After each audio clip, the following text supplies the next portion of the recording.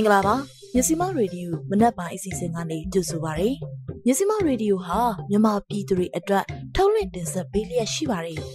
မြစီမရေဒီယိုမနက်ပိုင်းအစီအစဉ်ကိုနေ့စဉ်မနက်၈နာရီကနေ၈နာရီခွဲအထိ108 FM Facebook Page မြစီမ News in Burmese Facebook Page နဲ့မြစီမ108 FM Podcast တို့မှာနားဆင်နိုင်ပါပြီ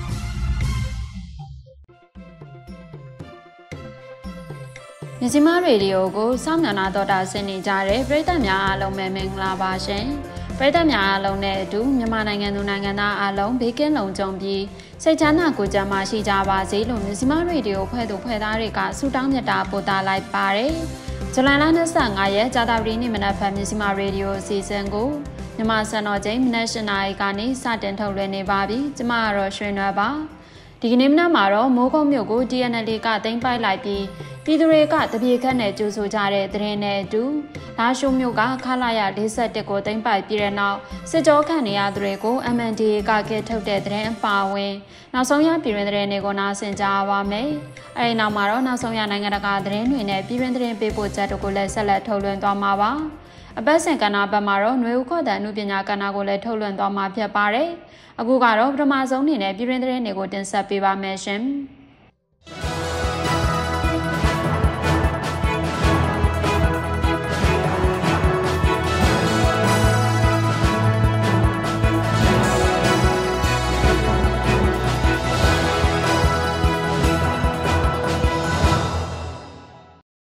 နောက်ဆုံးရပြည်တွင်တဲ့နေကိုနာဆင်ကြပါမယ်။မန္တလေးတိုင်းမိုးကုတ်မြို့နယ်မှာစစ်ကောင်စီတပ်နဲ့တန်မြို့သားလူမျိုးရေးတပ်မတော် TNL မဟာမိတ်ပူးပေါင်းတပ်တွေကြားမှာတလာနီးပါးကြားတိုက်ပွဲပြင်းထန်ခဲ့ပြီးတဲ့နောက်ဇူလိုင်လ24ရက်နေ့မနေ့ကမနက်ပိုင်းမှာ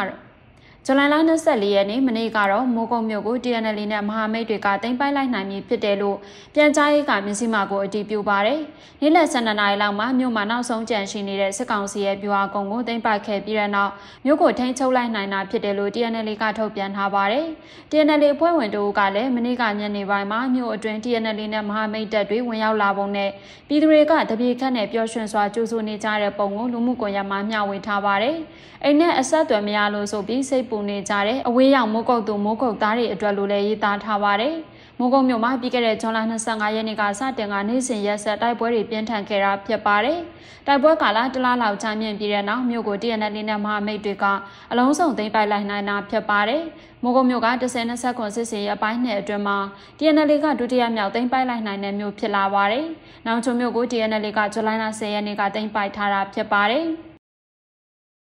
မိုးကုတ်မြို့မှာဇွန်လ19ရက်နေ့ကစတင်ကစက်ကောင်စီကဖုန်းနဲ့အင်တာနက်လိုင်းတွေအကုန်လုံးဖြတ်တောက်ထားပါတယ်။မိုးကုတ်မြို့ကို TNL နဲ့အတူ NUG ကာကွယ်ဝင်ကြီးဌာနလက်အောက်က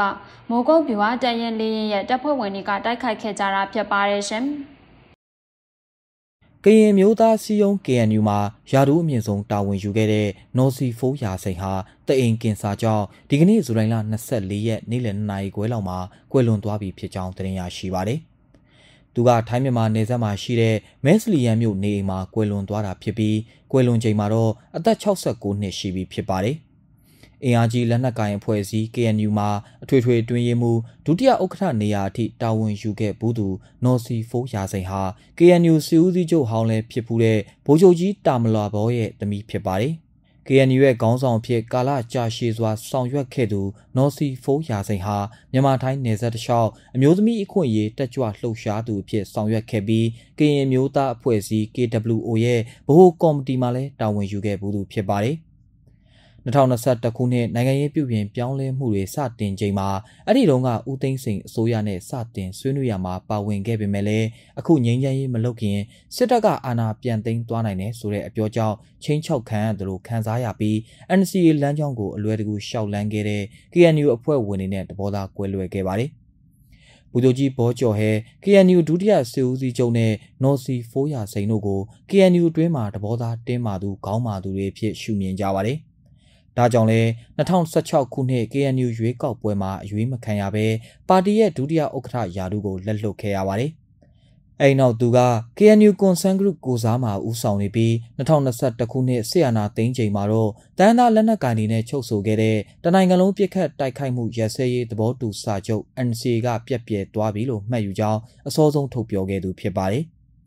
အမျိုးသားညွရေးယာယီအစိုးရ NUG ကိုအုပ်ချုပ်ရေးစစ်ရေးနိုင်ငံရေးနဲ့တန်တမန်ရေးတွေအတွက်အဖက်ဖက်ကပံ့ပိုးကူညီသွားမယ်လို့လည်းသူဦးဆောင်တဲ့ KNU Concern Group ကနေထုတ်ပြန်ခဲ့ပါတယ်။2014ခုနှစ်မှာအမျိုးသမီးအဖွဲ့အစည်းများကိုရဲ့ WON ကပေးတဲ့အမျိုးသမီးငြိမ်းချမ်းရေးဆုကိုချီးမြှင့်ခံခဲ့ရတဲ့နော်စီဖိုးရာစိန်ဟာတအိမ်ကင်ဆာကိုခံစားလာရပြီးနောက်နီလန်မျိုးစုံနဲ့ကုသမှုပြုလုပ်ခဲ့ရကြောင်းမိသားစုဝင်တွေကပြောပါတယ်။ ဒါပေမဲ့လည်းကျမ်းမာရေးအခြေအနေဆိုးဝါးလာပြီးတဲ့နောက်နော်စီဖိုးရာစိန်ရဲ့ဆန္ဒအရဇူလိုင်လတတိယသတင်းပတ်မှာထိုင်းမြန်မာနယ်စပ်မှာရှိတဲ့မက်စရီယန်ကသူ့ရဲ့အိမ်ကိုတည်လာခဲ့ကြပြီးအဲ့ဒီအိမ်မှာပဲခေါင်းချခြင်းကြောင်းပြောတယ်လို့နှီးဆက်သူတွေကပြောပါတယ်။ဆုံးပြီးရင်တော့ဇာပနာကိုမက်စရီယန်အိမ်ကသူ့အမိုးဘေးမှာပဲဖြစ်ဖြစ်တေဘေးထအာဇာနီကုန်းကတေဘေးထအာဇာနီကုန်းကသူ့အဘာဘေးမှာဖြစ်ဖြစ်ထားပါ ကျန်တဲ့မိသားစုတွေသဘောပါပဲလို့ပြောကြားခဲ့ကြောင်းနော်စီဖိုးရာစိန်ရဲ့မိတ်ဆွေတူကပြောပါတယ်ခင်ဗျာ။ကိုကန့်တက် MND သိမ်းပိုက်ထားတဲ့ရှမ်းပြည်နယ်မြောက်ပိုင်းလာရှုံမြို့အဝင်ကစကောင်စီရဲ့ချိန်လင်းတရင်ခလာရလေးဆက်တဲ့ဌာနချုပ်မှာနှစ်ရှည်စစ်ကြောရေးတွင်ထိမ့်သိမ်းခံထားတဲ့အကျဉ်းသားတွေက ဇူလိုင်လ23ရက်နေ့မှာပြန်လည်လွတ်မြောက်လာရလို့သတင်းရရှိပါရယ်။မန္တလေးလာရှိုးလန်မြို့အဝင်မုံအနီမှာရှိတဲ့ခလာရ41တရင်ကို MNDA ကဇူလိုင်23ရက်နေ့မှာသိမ်းပိုက်နိုင်ခဲ့ပြီးတော့အဲ့ဒီတရင်အတွင်းမှာထိမ့်သိမ်းခံထားတဲ့အကျဉ်းသားတွေကိုညနေပိုင်းမှာပြန်လည်လွတ်မြောက်လာတာဖြစ်တယ်လို့နိုင်ငံရေးအကျဉ်းသားဟောင်းတို့ကမြစည်းမကိုပြောပါရယ်။ ၄၁ကနေပြန်လွတ်လာတာ10ရောက်လောက်ရှိတယ်လို့ကြားတယ်အများဆုံးကစစ်ကြောရေးသွင်းပြီးနှစ်ချီအောင်အဲ့ဒီတက်ထဲမှာပဲပိတ်ခံထားရတာတေးလားရှင်လားတော့မသိရဘူးအဖန်စီတွေရှင်ရဲ့အဲ့ဒီတက်ထဲမှာအရင်ဆုံးနှိပ်စက်ခံရတာလို့သူကပြောပါတယ် လွမြောက်လာသူတွေထဲမှာနှစ်နှစ်ကျော်ထိမ့်သိမ်းခံထားတဲ့လာရှုံမျိုးခံတွေနဲ့တန်တက် DNL တပ်ဖွဲ့ဝင်တွေပါဝင်ကြပြီးတော့လွမြောက်နယ်မြေတွေကိုရောက်ရှိသွားပြီးဖြစ်တယ်လို့လည်းသူကပြောပါတယ်။ဇူလိုင်24ရက်နေ့မှာအဲ့ဒီတရင်ဒီမှာရှိတဲ့မြို့အဝယ်မုံဦးမှာတိုက်ပွဲတွေဆက်လက်ပြတ်ပွားနေပြီးလွမြောက်လာသူစည်ရင်အရေးအတွက်နဲ့အခြေအနေအသေးစိတ်ကိုသိရှိနိုင်မှုခက်ခဲနေစေဖြစ်ပါတယ်။ခလာ41တရင်ကအရှေ့မြောက်တိုင်းစစ်ဌာနချုပ်ရဲ့အကြမ်းဖက်နေနေတက်တစ်ခုဖြစ်ပြီး ဒါရှိုးအပြင်ရှမ်းမြောက်မှာဆီယနာသိမ်းမှုကိုစန့်ကျင်ဆန္ဒပြတာကြောင့်ဖမ်းဆီးခံထားသူတွေကိုစစ်ကြောရေးသွင်းကပုံစံအမျိုးမျိုးနဲ့ညှဉ်းပန်းနှိပ်စက်ခဲ့တဲ့တရင်ဖြစ်တယ်လို့စစ်ကြောရေးသွင်းခံခဲ့ရတဲ့သတင်းမှတုံးကလည်းပြောပါရယ်။ဒါအပြင်ပြည်သူ့ကာကွယ်ရေးတပ်မတော်တိုင်းသားလက်နက်ကိုင်တပ်ဖွဲ့ဝင်တွေနဲ့ဆက်ဆက်သူတွေကိုနှစ်ရှည်လများစစ်ကြောရေးသွင်းထိမ့်သိမ်းခဲ့ပြီးညှဉ်းပန်းနှိပ်စက်ခံခဲ့ရတာကြောင့်တေဆုံးသူတွေနဲ့သတင်းအစအနပျောက်သွားသူတွေလည်းရှိရလို့သိရပါရယ်။ လက်တလုံးမှာတော့နိုင်ငံရေးအကျဉ်းသား300ကျော်ကျန်းရှိနေသေးတဲ့မြို့ပေါ်အမှတ်12ရပ်ကွက်လာရှိုးထောင်မှာစကောင်စီတက်ဆွဲထားရ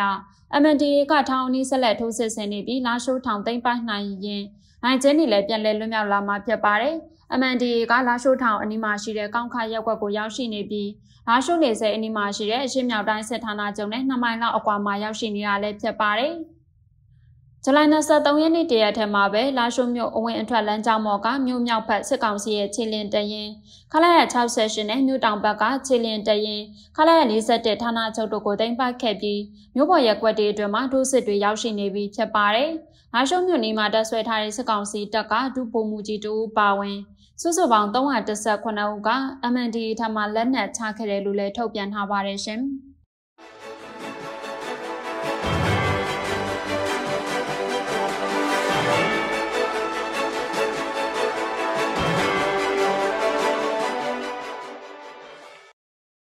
စစ်ကောင်းဆောင်မင်းအောင်လှိုင်ကယာယီသမရဦးမြင့်ဆွေစီကနေယာယီသမရယာတုကိုလွှဲပြောင်းရယူလိုက်တာဟာဖွဲ့စည်းပုံအခြေခံဥပဒေနဲ့ကိုက်ညီတယ်လို့စစ်ကောင်စီပြောရေးဆိုခွင့်ရှိသူဗိုလ်ချုပ်စောမင်းထွန်းကဇူလိုင်လ23ရက်နေ့ကပြောကြားလိုက်ပါတယ်။အမျိုးသားကာကွယ်ရေးနဲ့လုံခြုံရေးကောင်စီကာလုံကိစ္စတွေကိုယာယီသမရကဆောင်ရွက်နိုင်ခြင်းမရှိတာကြောင့်လွှဲပြောင်းရယူရတာဖြစ်တယ်လို့လည်းဗိုလ်ချုပ်စောမင်းထွန်းကသတင်းမီဒီယာတွေကိုပြောပါတယ်။ယာယီသမရရဲ့ကျမ်းမာရေးခြေနေအရ အမျိုးသားကာကွယ်ရေးနဲ့လုံခြုံရေးကောင်စီအစည်းအဝေးကိုယာယီသမရမတက်ရောက်နိုင်တာဖြစ်စေအကြောင်းမျိုးမျိုးကြောင့်ယာယီသမရလစ်လက်သွားရင်ပုံမှန်412ခါခွေးမှာပါတယ်အခြေခံဥပဒေရဲ့သဘောတရားတွေအရနိုင်ငံတော်ရဲ့အုပ်ချုပ်ရေးဆိုင်ရာကိစ္စရပ်တွေကိုအဓိကဆုံးဖြတ်ပေးရတဲ့အမျိုးသားကာကွယ်ရေးနဲ့လုံခြုံရေးကောင်စီအစည်းအဝေးကိုဦးဆောင်ဖို့အတွက်ဖွဲ့စည်းပုံအခြေခံဥပဒေပုံမှာ419အရာနိုင်ငံတော်ရဲ့အုပ်ချုပ်ရေးအာဏာကို နိုင်ငံတော်သမ္မတကိုစားကျင့်သုံးဆောင်ရွက်နေတဲ့နိုင်ငံတော်စီမံအုပ်ချုပ်ရေးကောင်စီဥက္ကဋ္ဌတက်မတော်ကာကွယ်ရေးဦးစီးချုပ်သားဖြစ်ပါတယ်လို့ဗိုလ်ချုပ်စောမင်းထွန်းကပြောပါတယ်။အရေးပေါ်ကာလမပြီးမြောက်သေးတဲ့ကာလအတွင်းမှာအမျိုးသားကာကွယ်ရေးနဲ့လုံခြုံရေးကောင်စီမှာပါဝင်တဲ့ပုဂ္ဂိုလ်အချို့လစ်လက်သွားစေကာမူ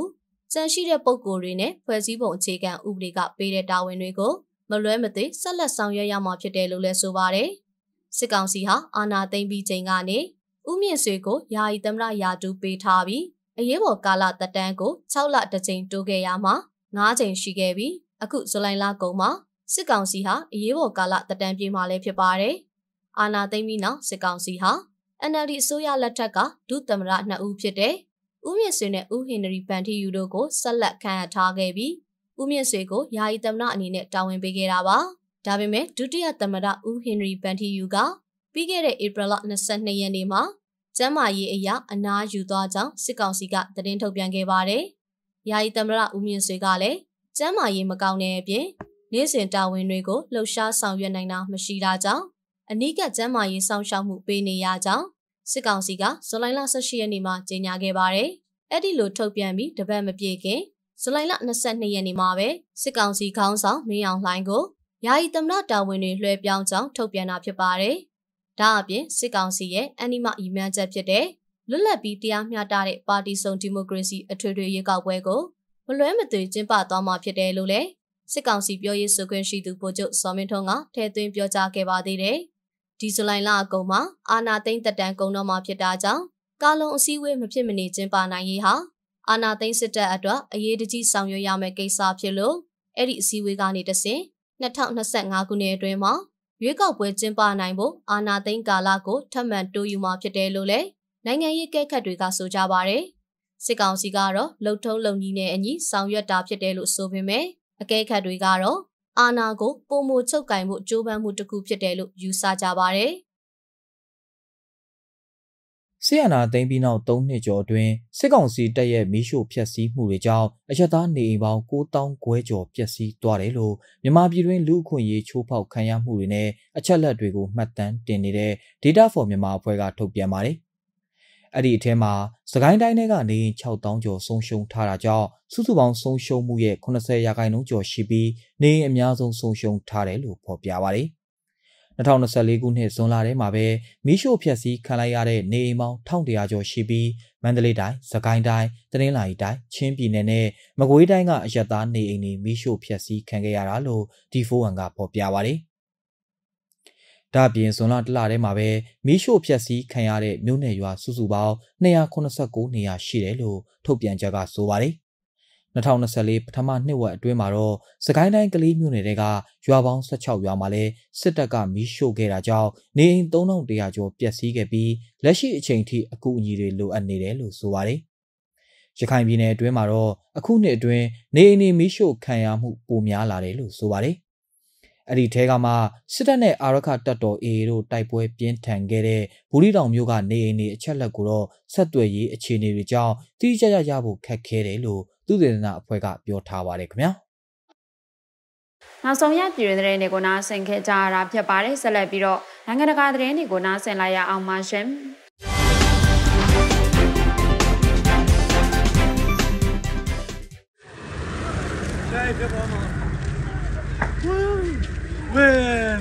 စစ်ပွဲလုံးဂါဇာကမ်းမြောင်ဒေသမှာအမျိုးသားပြည်လဲတည်မြဲရေးအစိုးရဖွဲ့တဲ့အခါ ဟာမတ်စ်ပါဝင်ရေးတရုတ်ကကြားဝင်ပြီးကမကထပြုပေးနေတဲ့သဘောတူညီချက်ကိုအစ္စရေးကရှုတ်ချလိုက်ပါတယ်။အယသားတွေရွှေ့ပြောင်းဖို့အမိန့်ထုတ်ထားတဲ့တောင်ပိုင်းမှာရှိတဲ့ခန်ယူနစ်မြို့အပါအဝင်ဂါဇာကိုအစ္စရေးကဘုံကျဲတိုက်ခိုက်နေတဲ့အချိန်အခုလိုတန်တမန်ရေးရာအငင်းပွားမှုတွေဖြစ်ပွားလာခဲ့တာပါ။အစ္စရေးနိုင်ငံသားရေးဝန်ကြီးအစ္စရေးကတ်က ဟာမတ်စ်အုပ်ချုပ်မှုကိုချိန်မုံပြရပါမယ်လို့ယတိပြတ်ပြောဆိုပြီးသဘောတူညီချက်ကိုလက်မှတ်ရေးထိုးခဲ့တဲ့ဖာတာအဖွဲ့ခွဲကပါလက်စတိုင်းသမ္မတမာမုတ်အဘာစ်ကိုလည်းအော်တိုဘာ9ရက်ကတိုက်ခိုက်မှုပြုလုပ်ပြီးစစ်ပွဲကိုစတင်ခဲ့တဲ့အဖွဲ့ကိုလက်ခံပေးနေတယ်လို့ဆွဆွဲခဲ့ပါတယ်စစ်ပီခေဂါဇာကမ်းမြောင်ဒေတာအစိုးရအဖွဲ့မှဟာမတ်စ်ပါဝင်ရေးနဲ့ပတ်သက်ပြီးဟာမတ်စ်ကိုအကြမ်းဖက်အဖွဲ့လို့ယူဆထားတဲ့အစ္စရေးနဲ့အမေရိကန်တို့ကလက်မခံပါဘူး။ကွန်ဂရက်ပူးတွဲအစည်းအဝေးမှာမိန့်ခွန်းပြောဖို့အမေရိကန်ကိုရောက်ရှိနေတဲ့အစ္စရေးဝန်ကြီးချုပ်ဘက်ဂျမင်နေတန်ယာဟုကဟာမတ်စ်တွေကိုမဖယ်ရှားမချင်းဂါဇာမှာဆက်လက်တိုက်ပွဲဝင်သွားမယ်လို့ကြေညာထားပါတယ်။တရုတ်ကဟာမတ်စ်အကြီးတန်းအရာရှိမူဇာအဘူမာဇက်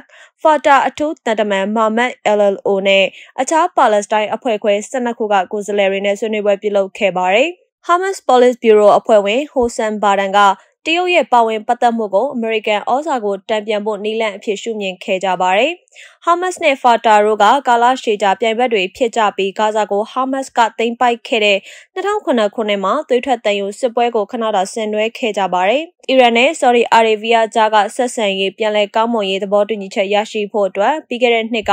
ကြားဝင်စိစက်ခဲ့တဲ့တရုတ်ကအခုသဘောတူညီချက်ဟာပြန်လည်တင်းမြတ်ရေးကတိကဝတ်တစ်ခုဖြစ်တယ်လို့ပြောကြားခဲ့ပါတယ်။ဒါပေမဲ့ Israel နိုင်ငံသားရေးဝန်ကြီး Israel Katz က Abbas ကိုလူသက်သမားတွေနဲ့ Hamas မဒိန်ကောင်တွေကိုလက်ခံနေတယ်လို့ဝေဖန်ခဲ့ပါတယ်။ဂါဇာကမ်းမြောင်ဒေသမှာရှိတဲ့ပါလက်စတိုင်းအာဏာပိုင်တွေရဲ့အခမ်းကဏ္ဍကိုလည်းအစ္စရေးနိုင်ငံသားရေးဝန်ကြီးကပယ်ချခဲ့ပြီးအဘတ်ဟာဂါဇာကမ်းမြောင်ဒေသကိုအဝေးကပဲကြည့်နေရမယ်လို့လည်းပြောကြားခဲ့ပါတယ်ရှင်။နိုင်ငံတကာသတင်းတွေကိုနားဆင်ခဲ့ကြရတာဖြစ်ပါတယ်ဆက်လက်ပြီးပြည်ရင်းသတင်းပေးပို့ချက်ကိုတင်ဆက်ပေးမှာပါ။ပြားစစ်ကြောင်းရဲ့ကောင်းဆောင်ကြာဆုံးမှုနဲ့ပတ်သက်လို့စစ်ကြောင်းရဲ့တုတ်ပြန်ချက်အကြောင်းကိုမြေပြင်သတင်းတောက်ကိုထုံနဝင်ပေးပို့ထားတဲ့အကြောင်းကိုနားဆင်လိုက်ရအောင်ပါရှင်။စစ်စင်ရေးပေါ်ဆောင်နေတဲ့အင်းစစ်စင်ရေးတိုက်ပွဲတစ်ခုမှာ ပြားစစ်ကြောင်းကအဖွဲ့ကောင်းဆောင်ကိုလင်းကတော့ဇူလိုင်လ20ရက်နေ့မနက်ပိုင်းကကြာဆုံးသွားခဲ့ပါတယ်။ဇူလိုင်လ20ရက်နေ့မနက်8နာရီမှာ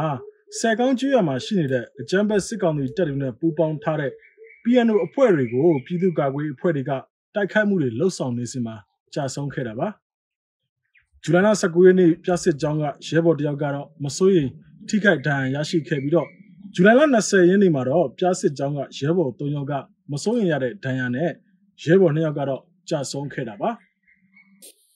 ဖက်ဒရယ်ဒီမိုကရေစီတိုက်ပွဲတွင်မြင်းများစွာကြာဆုံးခဲ့ရသောသူရဲကောင်းများအားလက်ပြု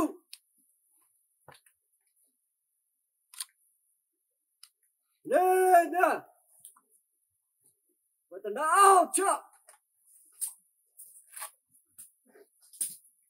စစ်ကောင်စီတက်နဲ့ PNO ပူပေါင်းတက်တွေကို ဝင်အောင်တိုက်ခတ်တယ်လို့ကြားသိရတယ်ပေါ့လေအဲ့ဒီရဲ့တိုက်ပွဲဖြစ်စဉ်လေးနည်းနည်းပြပြပေးပါအောင်ဗျအဲ့ဒီဖြစ်စဉ်ကတော့ကျွန်တော်တို့ကဒီထီရီနဲ့နမ်ပွာတို့ဖက်ကိုကျွန်တော်တို့ကဒီဒီဖြတ်တောက်ရေးသဘောမျိုးပေါ့နော်ဖြတ်တောက်ရေးသဘောကနေကျွန်တော်တို့ကဒီအဲဆက်ထိုးသွားမယ်ပေါ့ဆက်ထိုးသွားမယ်အဲ့လိုထိုးလို့ရတဲ့လောက်ကျွန်တော်တို့တိုးမယ်အဲ့လိုပုံစံကြီးနဲ့ကျွန်တော်တို့ကတိုးသွားတာဖြစ်တယ်ပေါ့နော်တိုးသွားပြီးမှကျွန်တော်တို့ကအဲ့ဒီအဲ့ဒီ စစ်ကြောင်းမှာကကျွန်တော်တို့အဲ့ဒီစစ်တိုက်ပွဲမှာကကျွန်တော်တို့တိုက်တဲ့တိုက်ပွဲတွေကဒီစံကားစံကားပြီးရင်ဆယ်ခေါင်ပေါ့ဆယ်ခေါင်တိတော့ကျွန်တော်တို့တိုက်ခဲ့တယ်စံကားကနေစံကားမှာတိုက်ပွဲတွေဖြစ်တော့စံကားမှာခွေးတွေကဆုတ်သွားတယ်အဲ့ဒီကောင်တွေ PNO နဲ့ဒီခွေးတွေကဆုတ်သွားတယ်ဆုတ်သွားတဲ့ခါမှာကျွန်တော်တို့ဆယ်ခေါင်ထိလိုက်ပြည့်တယ်ပေါ့နော်ညတညလုံးလဲတိုက်ပွဲဖြစ်ခဲ့တယ်ပေါ့ဒီ19ရက်နေ့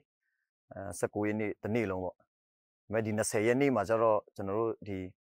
ခွေးတွေကအထိခိုက်ခွေးနဲ့ PNO တွေကအထိခိုက်အကြဆုံးများတော့သူတို့တွေက ဆယ်ခေါင်ထိဆုပ်လိုက်တယ်ဆယ်ခေါင်မှာကအဲတိုက်ပွဲတွေဆက်ဖြစ်တယ်တိုက်ပွဲတွေဆက်ဖြစ်တော့မနေ့အဲ20ရက်နေ့မနေ့မှာကျွန်တော်တို့လူတွေထိုးတက်ထိုးတက်သွားတယ်ပေါ့နော်အဲ့ဒီထိုးထိုးတက်ပြီးမှအဲကျွန်တော်တို့လူကတဖြည်းဖြည်းအဲ့လိုမျိုးပေါ့အဲ့လိုမျိုး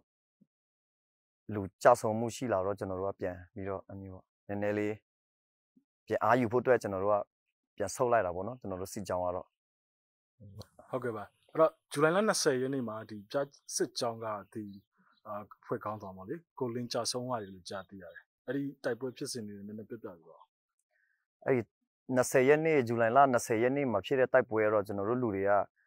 တိမ်းမကိုရမယ်ဆိုပြီးမှထိုးတက်သွားတာပေါ့နော်ထိုးတက်ပြီးမှဒီအုတ်တတိုင်းမှာကတ်ပြီးပေါ့နော်ကျွန်တော်တို့တွေ့နေကြတဲ့အချိန်မျိုးမှာကျွန်တော်တို့ဒီစစ်ကြောင်းမှုကရှေ့ကနေဥဆောင်ပြီးမှအဲတိုက်ခဲ့တယ်ပေါ့စစ်ကြောင်းမှုကရှေ့ကနေဥဆောင်တိုက်တဲ့အခါမှာအဲတနက်ကြီးကတော့ခေါင်းမှန်ပြီးတော့ ကြာဆုံသွားတော့ပေါ့ကြာဆုံသွားပြီးတော့ကျွန်တော်တို့ဗျာစစ်ကြောင်းအနေနဲ့တကြောင်လုံးအနေနဲ့ကျွန်တော်တို့ခဏလေးအာယူတဲ့အနေနဲ့ကျွန်တော်တို့ပြန်ခောက်သွားတော့ပေါ့နော်အဲသူရဲ့စာပနာတွေပါတွေကျွန်တော်လုတ်ပေးရတယ်ဆိုတော့အဲ့လိုကျွန်တော်တို့အဲ့လိုမျိုးဖြစ်စဉ်တော့ဖြစ်ခဲ့တော့ပေါ့ပြန်ပြီးတော့အဲ့ဒီနေရာကိုထိုးစစ်ဆင်ဖို့တော့ရှိမှာပေါ့အာကျွန်တော်တို့ကထိုးစစ်ဆင်မှာထိုးထိုးရမှာဗျဟုတ်ကဲ့ရဲဘော်လင်းနိုင်ထိုးတင်ဒီဖက်ဒရယ်ဒီမိုကရေစီရရှိရေးပြည်သူရဲတော်ပုံတိုက်ပွဲအတွင်းယူယူချူချူပေါ်ဝင်တော်လာရင် 20ရက်နေ့9လ2024ရက်နေ့တွင်ရန်သူပြည်တော်လက်နက်ကြီးထိမှန်ကစိုးပါခဲ့ပါသည်တီဒီတော်လာရဲ့အတွင်းကြဆုံခဲ့သည့်အတွက်ကျွန်တော်တို့ပြားစီချောင်းနေပြီမိသားစုနေသူဝမ်းနဲ့ချေခွဲရပါသည်မပြီးဆုံးသေးတော့ဖက်ဒရယ်ဒီမိုကရေစီတိုက်ပွဲတွင်ကိုကျွန်တော်တို့ပြားစီချောင်းမှတာဝန်ရှိသောရဲဘော်ရဲဘက်များကအောင်ပွဲရသည့်အထိတိုက်ပွဲဝင်တော်မူဖြစ်ပြီးတီဒီတော်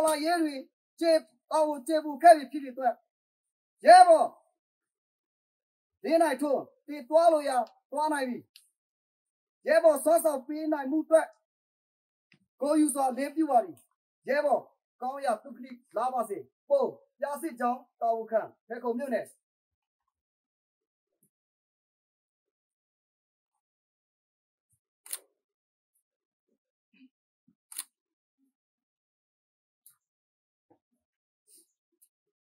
တနာသာ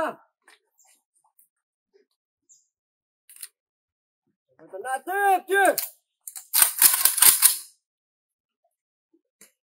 ဇူလာလာ20ရက်နေ့2024ခုနှစ်နေမြတ်စွာ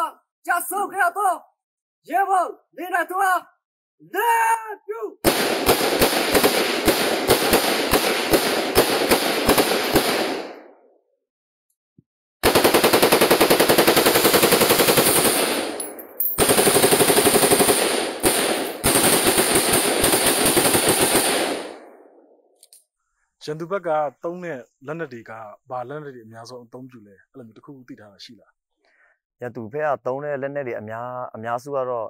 သူတို့တတ်ထုတ်တဲ့ဒီ MA3 တို့ဘာတို့ MA3 တို့1တို့ဒီ MA4 တို့ဒီ BA 100တို့ပေါ့နော်အဲ့ဒီအဲ့ဒီလောက်ပဲသုံးတာများတာရှိတယ်ပေါ့နော်ဒီ BNO ဖက်မှာကျတော့ AK တွေဘာတွေတော့ကျတော့အဲ့လိုမျိုးတွေတော့သုံးကြတာပေါ့တကယ်အကြီးကြီးမမထူထူထူထူသုံးတာတွေတော့မရှိဘူးပေါ့နော်ကျွန်တော်တို့လည်း အဲကျွန်တော်တို့လက်နဲ့တွေကသူတို့ထက်ပိုကောင်းတယ်လင်းတော့ပိုကောင်းတယ်ပိုပြီးတော့ပိုပြီးတော့အမျိုးအဆင့်ပုံမြည်တဲ့ကြောင့်ကျွန်တော်တို့ကဒီသူတို့လက်နဲ့တွေကိုမကြောက်ဘူးအဲ့လိုဒီ insist နဲ့ပတ်သက်ပြီးတော့တစ်ခုခုပြောချင်တာရှိမှာအင်းစစ်စင်ရဲနဲ့ပတ်သက်ပြီးတော့ပြောချင်တာကတော့ကျွန်တော်တို့ပြန်လာခဲ့မယ်ကျွန်တော်တို့ရအောင်ပြန်တိုက်မယ်ကျွန်တော်တို့အဆုံးထိကျွန်တော်တို့သွားမယ်နိုင်ငံတကာကဒီတနိုင်ငံလုံးမှာဒီ တော်လာရေးတပ်ဖွဲ့တွေကထိုးစစ်ဆင်နေတဲ့အချိန်မျိုးမှာကျွန်တော်တို့လည်းအင်းစစ်စင်ရေးကိုရအောင်ကျွန်တော်တို့ထိုးမယ်ကျွန်တော်တို့ရအောင်ပြန်လာခဲ့မယ်ကျွန်တော်တို့ဒီပြည်သူတွေကိုအကုန်လုံးကိုကျွန်တော်တို့ကျွန်တော်တို့ဖက်ဒီဒေတာမှာလွတ်မြောက်နေမြေတွေအများကြီးဖြစ်တယ်လို့ပြည်သူတွေစိတ်စိတ်ချမ်းသာနဲ့နေရတယ်လို့ဒီဒေတာမှာလည်းကျွန်တော်တို့အကုန်လုံးလွတ်လွတ်မြောက်မြောက်နဲ့ပြည်သူတွေရဲ့စံတောက်ကျွန်တော်တို့ဖြစ်စီပေးမယ်ကျွန်တော်တို့အကုန်လုံးလွတ်လပ်ခွင့်အကုန်အကုန်လုံးလွတ်လပ်ဖို့အတွက်ကျွန်တော်တို့တိုက်ယူသွားမယ်အဲ့ဒါတော့ကျွန်တော်တို့ဂတိပေးပါတယ် ပြီးခဲ့တဲ့ဇူလိုင်လ19ရက်နေ့နဲ့20ရက်နေ့မှာတိုက်ပွဲတွေဖြစ်ပွားခဲ့ပါတယ်။ညောင်ရွှေမြို့နယ်မှာရှိနေတဲ့မော်ဘီကျွော်မှာရှိတဲ့အကြမ်းမဲ့စစ်ကောင်တွေတက်နဲ့ပူးပေါင်းထားတဲ့ PNU တပ်ဖွဲ့ဝင်တွေထဲကနေပြီးတော့အင်အားအယောက်တရာပါဝင်တဲ့စစ်ကြောင်းကထီထီကျွော်ကိုလာရောက်စင်မှာဒေသခံပြည်သူ့ကာကွယ်တပ်ဖွဲ့ဝင်တွေကဝင်ရောက်တိုက်ခိုက်ခဲ့တာပါ။ရှေ့တန်းမှာရောက်နေတဲ့ရဲဘော်တွေရဲ့ပြောဆိုချက်အရတော့စစ်ကောင်တွေတပ်သားတွေကရက်သားကားတွေအုံပြုပြီးတော့လူနာတွေတည်သွားတာတွေကြာဆုံးတဲ့ကျမ်းဘတ်စစ်ကောင်တွေတပ်သားတွေကို တည်ထုတ်သွားတာတွေကိုတွေ့မြင်ရပြီးတော့ရက်ဖက်သုံး ambulance ကားကိုလည်းအသုံးပြုပြီးတော့သူတို့ရဲ့တပ်ဖွဲ့ဝင်တွေကိုကယ်ဆယ်ထုတ်နေတာတွေဒဏ်ရာရတဲ့အချမ်းဘတ်စစ်ကောင်တွေတပ်သားတွေကိုတည်ထုတ်သွားတာတွေကိုလည်းတွေ့မြင်ရတယ်လို့ဆိုပါတယ်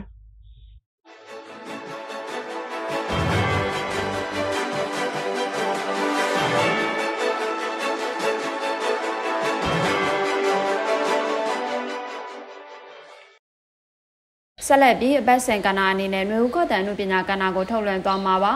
ဒီစီစဉ်ကိုတော့မြစီမရေဒီယိုနဲ့ The Call ခေါ်တန် online magazine တို့ကပူးပေါင်းစီစဉ်တင်ဆက်ထားတာပဲဖြစ်ပါတယ်နားဆင်လိုက်ရအောင်ပါရှင်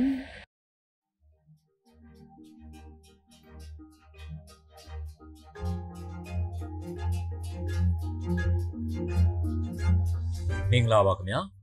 မြစည်းမသတင်းဌာနနဲ့ The Call ခေါ်တန် online magazine တို့ပူးပေါင်းတင်ဆက်တဲ့ မျိုးဦးခေါ်တန်လူပညာကဏ္ဍကနေကြိုဆိုပါရစေ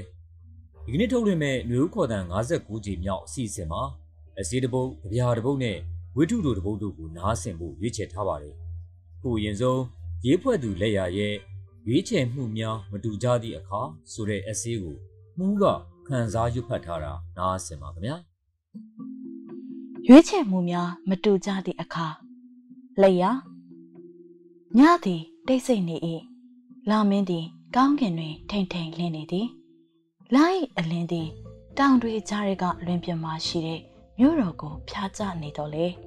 မြို့တော်ကရောင်စုံအလင်းတွေကိုဩစာမတက်ရောက်နိုင်ပေလူတွေကြားထဲနေထိုင်ရင်လူတွေနဲ့အကျွမ်းတုံဝင်မဖြစ်သည့်အခါတွေကျွန်တော်ဒီတယောက်တည်းအတိတ်ကိုစဉ်းစားသည်များသောအားဖြင့်ဇာတိရရွာနှင့်တိကျွမ်းခဲ့သောမိတ်ဆွေများအကြောင်းဖြစ်သည် ဘဝအစ်စ်အပိုင်းတစ်ခုတွင် တွေ့ခဲ့တော်လဲဘဝ၏နောက်ထပ်အပြောင်းလဲတစ်ခုတွင် သူတို့ပါမလာတော့ပေကိုလန်းကိုရွေးခဲ့ကြသည်ကျွန်တော်ရွေးခဲ့သောလမ်းသည်အိမ်ပြန်ရန်မလွယ်သည့်လမ်းဖြစ်သည်တငယ်ချင်းတယောက်ကဘေးရင်တွက်ကြည့်ပြီးပြောသည်မင်း6လနေအိမ်ပြန်ရမည်ဟုဆိုသည်ကျွန်တော်သူပြောတာကိုဟာသားတစ်ခုအနေနဲ့ပဲရှိမောခဲ့သည် ကျွန်တော်သူ့ကိုနားလည်အောင်ရှင်းမပြတော့ပါကျွန်တော်တငယ်ချင်းသည်အခြားသူများ၏အဆိုးပြုမှုနှင့်ပတ်ဝန်းကျင်အဖြစ်အပျက်တွေကိုခေါင်းထဲထည့်လက်ရှိသူမဟုတ်ပေသူတိဆောက်ထားသောကမ္ဘာအတွင်းသာနေထိုင်သူဖြစ်သောကြောင့်ဖြစ်သည်ဘဝကိုမျှမွေးလေးလိုပဲပေါ့ပေါ့ပါပါဖြတ်တန်းခြင်းသည်ဆိုတဲ့တငယ်ချင်းတယောက်ရှိသည်သူသည် Tom Hanks ရဲ့ Forest Gump ရုပ်ရှင်ကိုနှစ်သက်သူတအို့ဖြစ်သည် ကျွန်တော်တို့တငယ်ချင်းများတဲရင်တော့တပုံစိတ်နဲသူလည်းဖြစ်သည်အခုတော့သူ့ဘဝတကယ်ပေါ့ပါရဲ့လားကျွန်တော်မပြောတတ်ပါအာနာသိရင်တောခိုမယ်လို့ပြောတဲ့တငယ်ချင်းကတော့စစ်တပ်ရဲ့ဖိနှိပ်ရေးရန်နေရအတွက်အလုတ်အကျွေးပြုနေသည်ကျွန်တော်တို့မျိုးကတက္ကသိုလ်ကျောင်းသားတက်မကရင်ရဲရဲတောက်ပါဝင်ခဲ့သည့်မိန်းကလေးတငယ်ချင်းတအိုးကမို့စစ်ဗိုလ်တအုပ်နဲ့အိမ်တောင်ပြုတ်သွားသည် ရဲစရာကောင်းလာတော့လေကျွန်တော်မရှိနိုင်ခဲ့ပါဝမ်းနဲ့စိတ်မကောင်းဖြစ်ရသည်ကျွန်တော်ထက်တပုံစိတ်များတဲ့တငယ်ချင်းကမို့တရင်အစနာကိုပင်မရပါတေးသလားရှင်သလားလဲမသိပါတောင်တန်းတွေစီခီးထွက်သွားပြီးတဲ့နောက်အဆက်အသွယ်မရတော့ပါတခါတော့ကကျွန်တော်တို့ထဲမှာခေါင်းတလုံးသူများထက်ပိုမြင့်သည်ဟုခံယူသော အကိုတယောက်ကမို့ဆန္ဒပြမှုတွေကိုစစ်တပ်က အကြမ်းဖက်ဖြိုခွဲပြီးတဲ့နောက်တွင် သူ့ရဲ့ဆန္ဒဖော်ထုတ်မှုတွေကိုရပ်တန့်ပစ်လိုက်သည်မှတ်မှတ်ရရရှိတာကကျွန်တော်တို့မျိုးကခံတပ်ကိုစစ်တပ်ကအင်အားအလုံးရင်နဲ့ဝင်တိုက်တဲ့နေတော့ကသူကျွန်တော်ကိုလာခေါ်သည်ခန်းတက်ထဲကထင်ရရနေတဲ့သူတွေကိုသွားဆွဲထုတ်မည်ဟုဆိုသည်မနက်ကလေးကလက်နက်ကြီးပောက်ကွဲတံအဆက်မပြတ်ကြားနေတာကြောင့်ခံတက်မှာအခြေအနေမကောင်းဘူးဆိုတာ ကျွန်တော်နားလည်ထားပါလေကျွန်တော်သွားလဲဘာမှများများဆဆလှုပ်ပေးနိုင်မှာမဟုတ်တာကြောင့်မလိုက်နိုင်ကြောင်းပြောလိုက်သည်သူဆိုင်ငယ်ကိုအလောတကြီးမောင်းထွက်သွားသည်နိုင်ဝက်လောက်နေတော့ပြန်ရောက်လာသည်စစ်တပ်ကခန်းတက်ကိုဝိုင်းထားတာကြောင့်ခန်းတက်နားထီတာမကတ်နိုင်ပဲမြက်ကူးတရားနာကနေလှည့်ပြန်လာရခြင်းဖြစ်သည်အခုတော့ဒုက္ခများတိုင်းပြည်ရဲ့အခြေအနေအရရက်ကိုစိတ်ပြတ်နေသည် ဒီလူတွေနဲ့ကျွန်တော်တက်ကတူမှာတော့ကစာဖတ်အသင်းမှာအလုပ်တွေအတူတူလုပ်ခဲ့ဘူးသည်ညင်းကြခုံကြဘူးသည်အထိမ့်မှတ်အခမ်းအနားတွေလည်းလုပ်ခဲ့ဘူးသည်ပရာဟိတအလုပ်တချို့လည်းလုပ်ခဲ့ဘူးသည်ထမင်းလက်ဆောင်စားဘူးသည်ကျွန်တော်အိမ်ဒီသူတို့ဤစားအိမ်တောက်အိမ်ဖြစ်ခဲ့သည်ကျွန်တော်လည်းသူတို့အိမ်တွေမှာအချိန်မရွေးဝင်ထွက်စားတောက်ခဲ့သည်အခုတော့ အားလုံးဟာအတိတ်မှာခြံခဲ့ပြီပစ္စုပန်မှာတော့ကျွန်တော်တယောက်ထဲသာဖြစ်သည်ဘလို့ပဲဖြစ်ဖြစ်အသက်ရှင်နေတဲ့၍ကိုယ်ယုံကြည်ချက်အတိုင်းရှေ့ဆက်ရမိတာဖြစ်သည်ရေးဖွဲ့သူလက်ရာရဲ့ရွေးချယ်မှုများမတူကြသည့်အခါဆိုတဲ့ essay ကိုမှုဟန်စားရွတ်ဖတ်ထားတာနားဆင်ခဲ့ရပြီးတဲ့နောက်အပြာတပုတ်ကိုအလှည့်ပေးပါမယ်။ရေးဖွဲ့သူ Plug X ရဲ့ အရင်မန္တလေးညနေတွေကိုကိုတို့ပြန်ရဖို့လိပ်ပြာတွေဘယ်နှကောင်ထပြန်ပြေးဖို့လို့ဆိုတဲ့ကြပြားကိုမော်မိုးအေးကခန်းစားရွတ်ဆိုထားပါတယ်။နားဆင်ပါခင်ဗျာ။အရင်မန္တလေးညနေတွေကိုကိုတို့ပြန်ရဖို့လိပ်ပြာတွေဘယ်နှကောင်ထပြန်ပြေးဖို့လို့အစကဂေါ်တမ်လို့ကိုထင်မိတာပဲပြည်တော်ဝင်တချင်းအခုလိုပြန်လဲဆန်းတက်လာလိမ့်မယ်လို့မတွေးမိကြတဲ့ညနေတွေကျုံရည်ထဲမှာတရေကောင်းတွေ တဖုံးစားတွေတကြွယ်တထေးတွေတန်လေးရရဗရဘွားနဲ့အပိုင်းပိုင်းပြက်ခုတ်စားတွေဒီအနက်တွေလှိုင်းလှိုင်းထနေတဲ့ရင်ငွေတွေကို16ဘီလန်တစ်လျှောက်မှာလူတွေပြားအောင်လို့စွတ်စွပြီးရှူရှိုက်နေခဲ့ကြဘူးတာပဲအစားကအုတ်ချစ်ကြော်အေးရဲ့အတိတ်ပဲမသိသူတွေအတိတ်ပဲတွေကဘာမှတောက်ရေးမပါပါဘူးကွာလို့ပြောလေပြောထားရှိတဲ့ကလပ်ဘေးအနက်ရောင်မောကလူငယ်တွေချစ်ခင်ကြတယ်အားလုံးမိတ်ဆွေ နေတိုင်းပဲတတိရတယ်လေတေးပလန်ပေါ်ဘရုစ်ဝိုင်းတွေတွေးမိသေးလားမေးမရတဲ့ပျော်ရွှင်မှုဆိုတာထမင်းကြော်ဆိုင်တွေစီကအတော့အမြုပ်တွေမန္တလေးလို့ပြောလိုက်ခါရှိသေးရင်ခုန်တန်ကြီးကျဲသွားလောင်သွားပုံမတရိရသွားကိုရိုအစကထင်ပြီးတာဓာသမားတွေဆေးဘဲတွေပေါ့ပေါ့ပပလူရမှုတွေပဲရှိတယ်ကော်တန်ပေါ့ခုတော့မိစ္ဆာတနသမားတွေကကြုံပေးမှာ 26ဘီလန်းနဲ့23လမ်းမီးပွိုင်းထောင်းမှာကိုရိုဆိုင်ကယ်တွေအရင်လိုမရက်ဖြစ်တော့ဘူးစကားတွေအကျယ်ကြီးអော်ပြီး28လမ်းပေါ်ဆိုင်ကယ်စီးလို့မရတော့မိစ္ဆာတနသမားတွေကကြုံပေးမှာကိုရိုနှခမ်းဝါနာရောက်လာတဲ့ထုံးမောင်ဟာပြုတ်ကျသွားကုသိုလ်တော်မှာကုသိုလ်တော်တော်ရဖို့ဘဲဂါရာကိုရွတ်ရအောင်မလဲအနက်ရောက်ဖုံးအုပ်ထားတဲ့ပါဠိလားအဝါရောင်ဖုံးတဲ့ဒေသနာကောင်းလို့ချက်လား မိစ္ဆာတနသမားတွေကကြုံပြီးမှကိုရိုချိန်ထားတယ်စကိုင်းမန္တလေးလမ်းခွဲအထိအာမဟုတ်သေးဘူးစကိုင်းဟိုးဘက်ထိတိုင်းပြည်အနှံ့ကိုချိန်ထားတာရေပြင်ကွက်တိကွက်ကြားနဲ့ခမားမြင်နေရတာစနိုက်ပါသမားတွေတစ္ဆာဖောက်သွားလို့ဒီတိုင်းငိုကြွေးနေရတဲ့တောင်တမန်ပေါ့ရေတွေလုံးလုံးခန်းသွားရင်ဒါမှမဟုတ်ရေတကွန်တောင်ပေါ်ကိုတို့ပြန်မရောက်ကြတော့ရင် ကိုတို့ရဲ့နှလုံးသားတဲ့တဲ့မှာစိမ်ပန်းရှိတယ်တခါကချစ်မှတ်ဖွယ်စိမ်ပန်းညတွေအစားတွေးကွက်အပြစ်နာကျင်စိမ်ပန်းအဖြစ်ပုံဖော်ဖို့ဒီကောင်းလေးပြစ်ချလိုက်တယ်ကိုတို့မှဘာငိုစရာရှိတော့လို့လဲမိစ္ဆာတနသမားတွေကကြုံပေးမှာပန်းတွေကအလိုလိုငိုက်ဆိုင်ကြီးကြနေတာကြောက်သားလမ်းပေါ်ကပဲ့ကျသွားတဲ့ကြောက်စထရစ်ခဲတစ်ခုကကိုတို့ပေါ့ပေါ်ကရရဆက်ဆက်ဖိချလိုက်တဲ့လေရုဖီအားတန်ကြောင့်ဘေးကိုတလိန်ချင်းတလိန်ချင်း ပဲ့ကြရကနေ AR တဲ့စုံစုံမြော့အောင်ခေါင်းထိုးချလိုက်ကြရတဲ့ခစ်လူငယ်တွေမိစ္ဆာတနသမားတွေနဲ့တမိုင်းဆိုင်ရာလူရဲမှုအကြီးစားတွေမပြီးမချင်းကိုရိုရဲ့မန္တလေးဟာလိပ်ပြတွေတကောင်မိတကောင်ထားပြန်ပေးနေရအောင်မှာပဲမဟုတ်လားခမရဲ့ကောင်းကင်ကိုမော့ကြည့်အနက်အောင်ကန်ဖတ်ဆက်ခြုံထားတဲ့မိုးသားကြီး66လမ်းဟာမျောနေသူစီခုထိပေါ်မလာတော့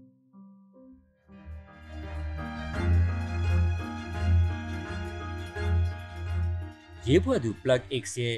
အရင်မန္တလေးညနေတွေကိုကိုတို့ပြန်ရဖို့ဒိတ်ပြာတွေဘယ်နှကောင်ထပြန်ပြေးဖို့လို့ဆိုတဲ့ကြပြကိုမောင်မိုးအေးခန်းစားရွတ်ဆိုထားတာနားဆင်ကြရတာပါ။ The Call ခေါ်တန် online magazine နဲ့မြစည်းမသတင်းဌာနတို့ပူးပေါင်းတင်ဆက်တဲ့မျိုးဦးခေါ်တန်အမှုပညာကဏ္ဍကိုဆက်လက်နားဆင်နေရတာဖြစ်ပါတယ်။ခုဆက်ပြီးဝယ်လွန်သူစာရေးဆရာညီပူလေးကစကောလေတော်ဆိုတဲ့ကလောင်မြည်နဲ့ The Call အတွက်ချီးမြှင့်ခဲ့တဲ့ဝတ္ထုတို့တွေက ခွေးသတိပြုဆိုတဲ့ဝတ္ထုတို့ကိုမင်းချေရွတ်ဖတ်ထားတာနားဆင်ပါခင်ဗျာခွေးသတိပြုစာရေးသူစကောလေတော်လူသွားလူလာများကားကွိတ်တဲ့အနည်းကအဆောက်အုံတစ်ခုဒီနေရာမှာစာအုပ်နဲ့စာရွက်ကိရိယာဆိုင်ကြီးလာဖွင့်မှုတယ်မကြဘူးပြုတ်သွားတယ်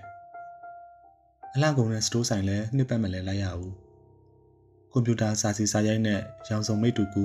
ကဲမျိုးမျိုးပလတ်စတစ်လောင်းတွေလည်းတက်တန်းတို့ရှာတယ်တဲခုကန်တစ်ခုပဲနှစ်နှစ်လောက်ကြာထင်ပါရဲ့အခုတော့ငားရန်ဆိုင်ပုံမှာဆက်သွယ်ရမယ့်ဖုန်းနံပါတ်နှစ်ခုကအခိုင်အမာနေရာယူထားတယ်အဲ့ဒီဗနိုင်းဆိုင်ဘုတ်ထက်ခိုင်မာတာကလူတွေလူတွေကဟောဒီအဆောက်အုံကိုနာမည်တစ်ခုချစ်စနိုးပေးထားကြတယ်နန်းတွင်တဲ့မသိသူတွေကမန္တလေးနန်းမြို့ရိုးတွေကဘိုလ်ကြီးဘိုလ်မူ ဘိုလ်ချုပ်တွေနေကြတဲ့နန်းတွင်သားတွေကိုအစွဲပြုခေါ်တယ်လို့ထင်ကြလိမ့်မယ်ဟုတ်ရင်လည်းဟုတ်နိုင်တယ်နန်းတွင်မှာနေရောညပါထမင်းအိုးတယ်နေကြတဲ့သူတွေရှိတယ်မိခိုးတွေဥမနေမိသွေးပေါက်တန်တွေထွက်မနေဘူးအေးအေးစစ်စစ်တိတ်တိတ်ဆိတ်ဆိတ်တည်နေကြတဲ့ထမင်းအိုးတွေလေခန္ဓာကိုယ်ကိုလောင်စာလုပ်ပြီးတည်ကြရတဲ့အိုးတွေတချို့လဲပြစ်ပြစ်တချို့လဲမပြစ်တပြစ် တချို့ကဆယ်ကျော်သက်တချို့ကဘယ်20ကျော်မှန်းခံမရခက်အောင်ဖီလင်းချဲလို့တားလို့အယောင်သွေးဆုံတယ်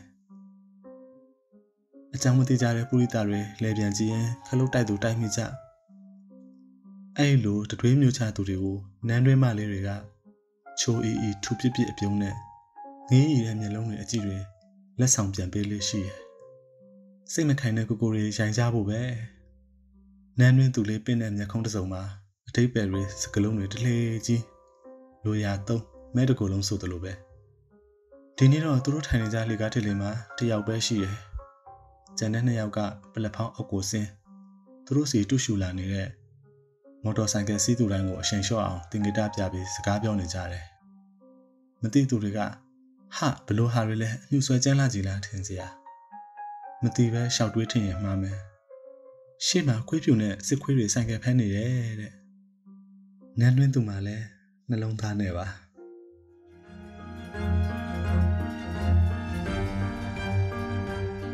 ကွယ်လွန်သူစာရေးဆရာညီပူလေးကစကောလေတော်ဆိုတဲ့ကလောင်အမည်နဲ့ The Call အတွက်ချီးမြှင့်ခဲ့တဲ့ဝတ္ထုတို့တွေကခွေးသတိပြုဆိုတဲ့ဝတ္ထုတို့ကိုမင်းချေရွတ်ဖတ်ထားတာနားဆင်ကြရတာပါ။မြစည်းမသတင်းဌာနနဲ့ The Call ခေါ်တန် online magazine တို့ပူးပေါင်းတင်ဆက်တဲ့ မြို့ဦးခေါ်တန်အမှုပညာကဏ္ဍကိုအပတ်စဉ်ဗုဒ္ဓဟူးနေ့ညနေ6နာရီခွဲကနေည9နာရီခွဲအထိထုတ်လွှင့်နေတဲ့မြစည်းမရေဒီယိုအစီအစဉ်မှာစောင့်မျှော်နားဆင်နိုင်ပါတယ်။ဒီစီစဉ်နဲ့ပတ်သက်ပြီးဒေါ်တာရှင်တို့ရဲ့ဝေဖန်အကြံပြုချက်တွေကိုလည်းကြိုးဆိုပါရယ်။မြစည်းမရဲ့ email tv@mizima.com ကိုစာရေးသားပေးပို့နိုင်တယ်လို့ The Call for the online magazine ရဲ့ Facebook မှာလည်းမှတ်ချက်ပေးရေးသားနိုင်ပါတယ်။အားလုံးကိုကျေးဇူးတင်ပါတယ်။ရှင်လန်းချမ်းမြေ့ကြပါစေ။များ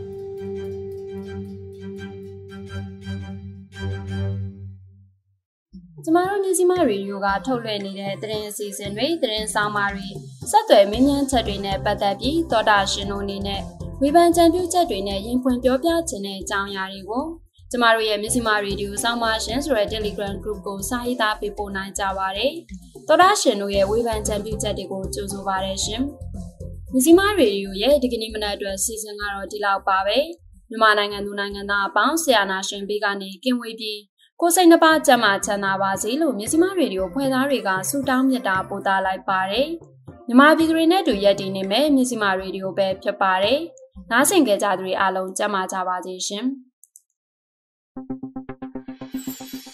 မြစီမရေဒီယိုဟာမြန်မာပြည်သူတွေအတွက်ထုတ်လွှင့်တင်ဆက်ပေးလျက်ရှိပါတယ်။မြစီမရေဒီယိုမနက်ပိုင်းအစီအစဉ်ကိုနေ့စဉ်မနက်၈နာရီကနေ၈နာရီခွဲအထိ108 FM Facebook Page မြစီမ News in Bamix Facebook Page နဲ့မြစီမ108 FM Podcast တို့မှာနားဆင်နိုင်ပါပြီ။